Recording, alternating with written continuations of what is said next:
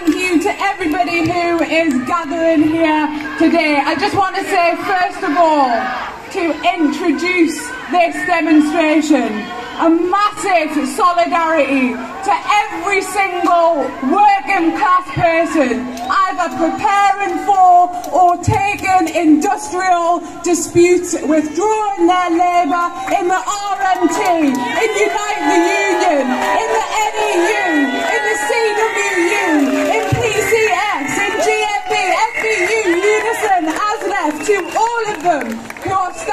for their terms and conditions and their safety. Good afternoon and welcome to Trafalgar Square.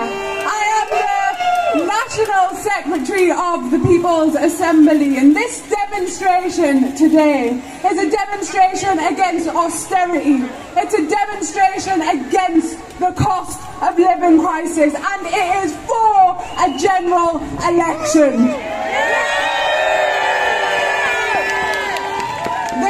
Demonstration is a protest against the greed of those who take millions and billions of pounds from the pockets of working class people and they make our lives miserable in the process of doing so. And we are here to stand up against the political class who are complicit and who entrench those conditions.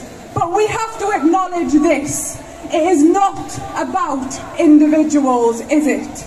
This is how the economic system works. It is job it is the job of the economic system to derive profit ruthlessly from working class people, from our labour, from our resources, from the planet, irrespective of the cost to every single person here. There is no morality to the system, not an ounce of morality to the capitalist system, no moral wrangling. There isn't a drop of sweat that drips from the millionaires and the billionaires' foreheads when they think about what they do next to get even more profit.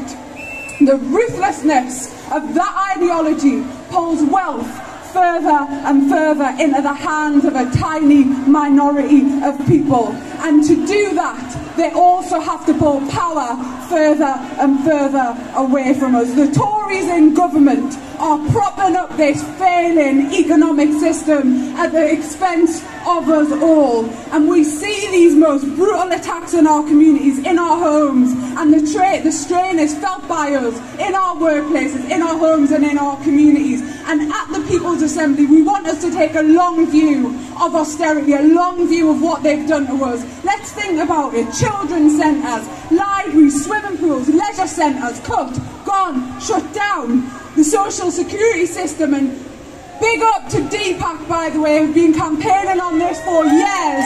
The social security system decimated before our very eyes. The pay of working class people attacked every year. Rapid outsourcing and privatisation and millions of people in poverty. And alongside that, a fundamental attack on our civil liberties, and we're going to hear about that today. The ability to vote for a Prime Minister just being one example, a tiny minority of people in that building down there deciding on all of our behalfs who was going to be our Prime Minister to impose another round of brutal austerity, but also the police crime courts and sentencing bill, the public order legislation, the Nationality and Borders Act, the agency labour, all destined to try and stifle and break our struggle against them. They have become more authoritarian as our conditions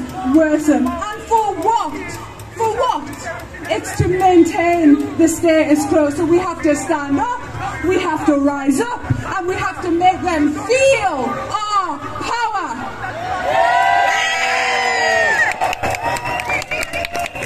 I'm going to be chairing this rally and this demonstration is a very important marker to say as a class that we are getting organised because it is only when working class people come together as an organised force that we will put pressure on the economic and political system. We need them to take notice. We need them to be scared of us. I want that political class to be scared of us. I want them to feel our power and ultimately they will feel our power, won't they? They're going to feel our power in our workplaces, in our communities, and on the streets. So, a general election is really just the start. Our discontent goes much deeper, doesn't it? And so do the answers. And we must admit, and this is an important point, that a demonstrably weak opposition led by Keir Starmer, when in government, will be faced with the same economic conditions and the same contradictions that this government are faced with and trying to appeal to the right-wing press and the market. So when it comes to it, if they are on government, they will feel our power as well.